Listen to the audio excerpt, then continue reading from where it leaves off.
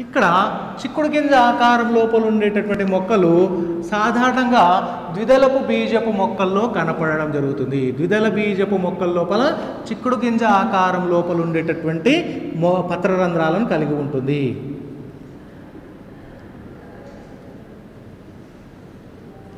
అదే మద్గుర ఆకారం లేదా డంబెల్ షేప్. మనం ఎక్సర్సైజ్ చేసేటటువంటి డంబెల్ ఉంది చూడండి. ఆ డంబెల్ ఆకారంలో ఉండేటటువంటి పత్ర రంధ్రాలు ఏకదళ బీజపు మొక్కల్లో కనిపించడం జరుగుతుంది. ఏకదళ బీజ మొక్కలు మద్గురాకారము లేదా డంబెల్ ఆకారంలో ఉండేటటువంటి పత్ర రంధ్రాలను కలిగి ఉంటాయి అవి ఏకదళ బీజపు మొక్కలు. వీటి నిర్మాణాలను వరుసగా పరిశీలించినట్లయితే చిక్కుడు గింజ ఆకారం లోపల ఉండేటటువంటి పత్ర రంధ్రమును చూద్దాం ముందుగా. ఇక్కడ పత్రరంధ్రం అనేటటువంటిది ఈ విధమైనటువంటి నిర్మాణాలు కలిగి ఉంటుంది.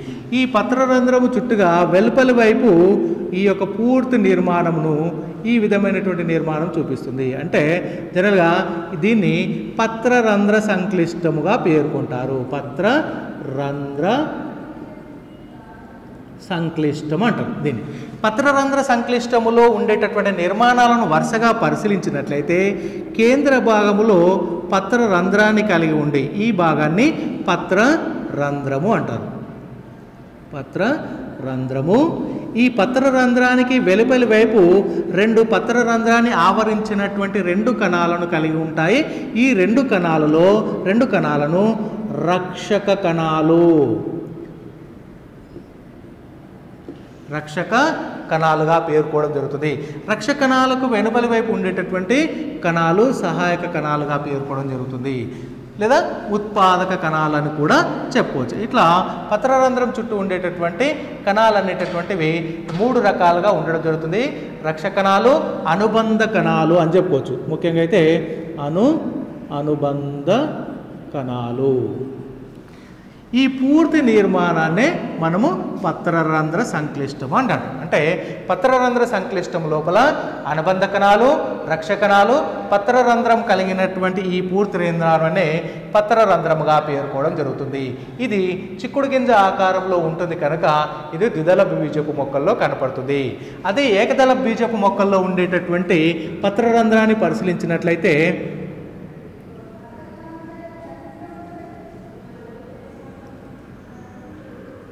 ఈ విధంగా అంటే మద్గుర ఆకారంలో ఉంటుంది అని చెప్పుకున్నాం కదా. మద్గుర ఆకారంలో ఉండేటటువంటి పత్రరంధ్రం అంటే ఈ విధమైనటువంటి నిర్మాణాన్ని ప్రదర్శించడం జరుగుతుంది.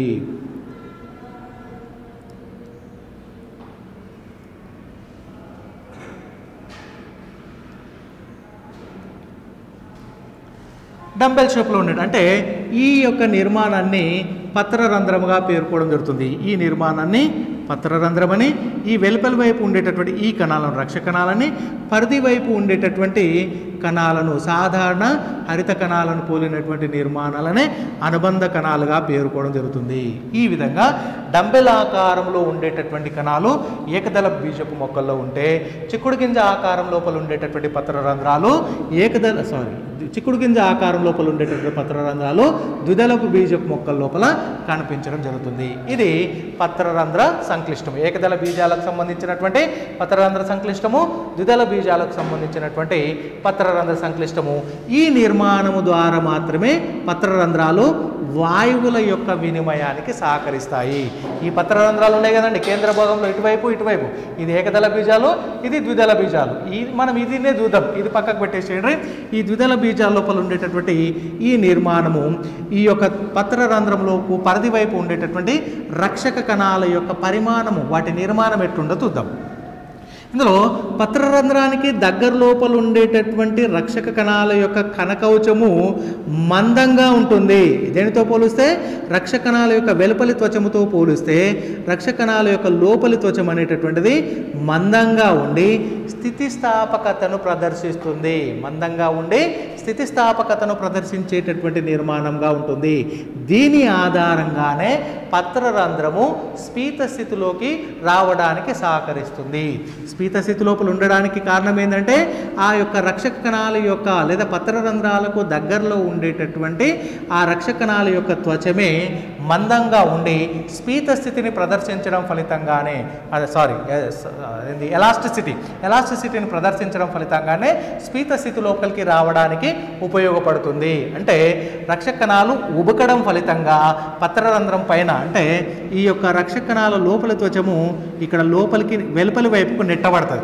అప్పుడు రక్షకణం యొక్క వెలుపలి త్వచము కూడా ఈ విధంగా ఇక్కడ నుండి ఇక్కడికి నెట్టబడుతుంది. అంటే పరిమాణంలో పెద్దదవుతుంది. స్పీత స్థితి లోపలికి వచ్చేస్తుంది. ఆటోమేటిక్గా ఈ పరిధి ఏమైపోతుంది?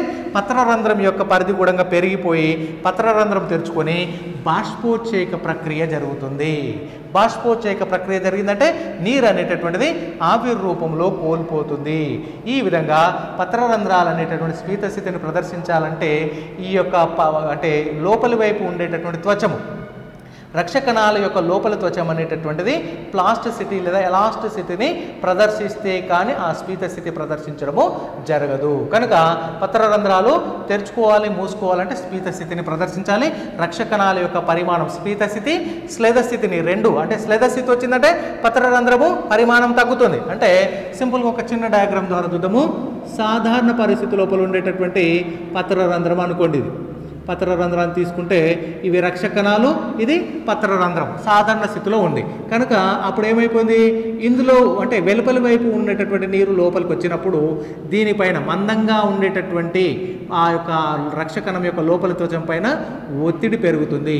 అప్పుడు ఏమవుతుంది ఈ త్వచాలు అనేటటువంటి లాగబడతాయి ఇట్లా పెద్దగా లాగబడి తెరుచుకునేటటువంటి పరిస్థితి ఏర్పరుస్తుంది అప్పుడు ఎప్పుడైతే దీని మీద ఒత్తిడి పడుతుందో ఇది ఇటువైపుకి లాగుతుంది ఇది ఇటువైపుకి లాగుతుంది. అంటే ఈ త్వచం ఇక్కడ వచ్చింది కనుకనే ఇక్కడ నుండి ఇది చిన్న డాట్స్ లాగా చూపిస్తాను. ఇక్కడ చూడండి ఇక్కడ నుండి ఇక్కడికి వచ్చింది అనమాట ఇది ఇక్కడ నుండి ఈ ప్రదేశంలోకి నెట్టబడింది. అంటే మనకి యాక్చువల్గా అయితే ఇక్కడ ఉండే మనకు ఇట్లా ఈ ప్లేస్లో నుండి ఈ ప్లేస్లోకి వచ్చింది. ఇది ఈ ప్లేస్లో నుండి ఈ ప్లేస్లోకి వచ్చింది. అంటే ఈ ప్లేస్ అనేటటువంటిది పెరిగిపోయింది. అంటే పత్రరంధ్రము తెరుచుకోవడం ఫలితంగానే బాష్పోచ్చేక ప్రక్రియ అనేటటువంటిది నిర్ద అంటే నిర్వర్తించడం అనేటటువంటి జరుగుతుంది. కనుక బాష్పోచ్చేక ప్రక్రియ నిర్వర్తించాలి అంటే మొక్కల అంతర్భాగంలో ఎలాంటి మార్పులు సంభవిస్తాయి? బాష్పోచ్చేకం జరిగేటటువంటి ప్రక్రియ గురించి చూద్దాం మరి. ఏ విధమైనటువంటి ప్రక్రియల ద్వారా ఏ విధమైనటువంటి మూలక యానుల యొక్క రవాణా ఫలితంగా పత్రరంధ్రాలు తెరుచుకోవడం కానీ మూసుకోవడం కానీ జరుగుతుంది. చూద్దాం. ముఖ్యంగా మనము పత్రరంధ్రాన్ని తీసుకున్నట్లయితే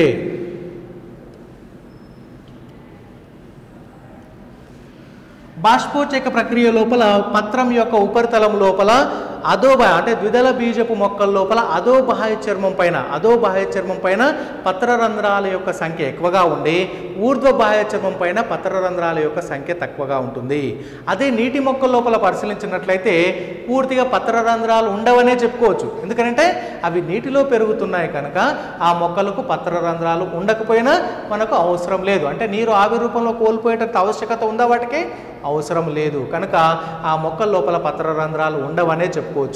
అదే కొన్ని రకాల మొక్కల లోపల అధోబాహ్య చర్మం లోపల పత్రరంధ్రాల సంఖ్య ఎక్కువగా ఉండి ఊర్ధ్వబాహ్య చర్మం లోపల పత్రరంధ్రాలు తక్కువగా ఉంటాయి. ఇట్లా వివిధ రకాల మొక్కల్లో తేడా ఉన్నప్పటికీ ఫైనల్గా మాత్రము అధోతలము లోపల పత్రరంధ్రాల సంఖ్య ఎక్కువగా ఉండేటటువంటి మొక్కలే అధికము అని చెప్పుకోవచ్చు. కనుక ఏది ఏమైనప్పటికీ పత్రరంధ్రము తెరుచుకునే మూర్చుకునే యాంత్రికం గురించి చూద్దాం.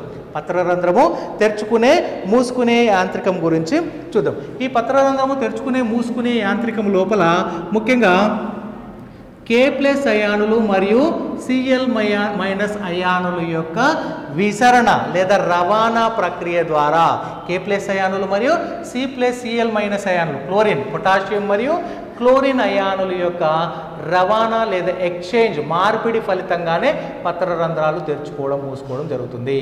ఇందులో ముఖ్యమైనటువంటి దశలు. ఫస్ట్ వన్ ముఖ్యమైనటువంటి దశలో మొదటగా అనుబంధ కణాల లోపల ఉండేటటువంటి అణువుల నుండి రక్ష కణాల్లోకి ఎవరు వెళ్తారు? రక్ష కణాల నుండి అనుబంధ కణాల్లోకి ఎవరు వెళ్తారు అనేటటువంటి ప్రక్రియను చూద్దాం. ఫస్ట్గా రక్ష కణాల లోపల రక్ష కణాల లోపల గాఢత అనేటటువంటిది నీటి శక్మం అనేటటువంటిది పెరుగుతుంది. నీటి శక్మం అనేటటువంటిది పెరుగుతుంది. నీటి శక్మం పెరిగిందంటే నీటి యొక్క గాఢత ఎక్కువగా ఉన్నట్లు అంటే ఆ యొక్క కణరసము లోపల నీటి గాఢత ఎక్కువగా ఉంది కనుక ఇక్కడ ఉండేటటువంటి కేప్లెస్ అయానులు ఎక్కడ? అనుబంధ కణాల్లో ఉండేటటువంటి కేప్లెస్ అయానులు ఇక్కడికి రవాణా చెందుతూ ఉంటాయి. ఈ కేప్లెస్ అయానులు ఎప్పుడైతే రవాణా చెందుతాయో సిఎల్ మైనస్ అయానులు కూడా లోపలికి రవాణా చెందుతాయి. ఇప్పుడు గాఢత అనేటటువంటిది ఇక్కడ తక్కువైతుంది. నీటి అణువుల యొక్క ఎవరి గాఢత? నీటి అణువుల యొక్క గాఢత సారీ ఇక్కడ నీటి అణువుల యొక్క గాఢత తగ్గుతుంది. ఇక్కడ పెరుగుతుంది. అంటే కే ప్లస్ అయానులు ఇక్కడికి పోయిందంటే ఆటోమేటిక్గా ద్రావణ శక్మము పెరిగింది. ద్రావణం యొక్క శక్మము పెరిగింది నీటి శక్మము తగ్గింది. ద్రావణ శక్మం పెరిగింది నీటి శక్మము తగ్గింది. ఇక్కడికి వచ్చేస్తే ద్రావణ శక్మము తగ్గింది నీటి శక్మం అనేటటువంటిది పెరిగింది అని చెప్పుకోవచ్చు. అట్లాంటి పరిస్థితుల్లో ఇక్కడ నుండి నీరు ఇక్కడికి వచ్చేస్తుంది. అంటే సింపుల్గా చెప్పాలంటే నీటి యొక్క గాఢత ఇక్కడ తగ్గిపోయింది. ఎందుకంటే సింపుల్ ఒక గ్లాసులో షుగర్ తీసుకో ఒక గ్లాసులో నీరు తీసుకోండి.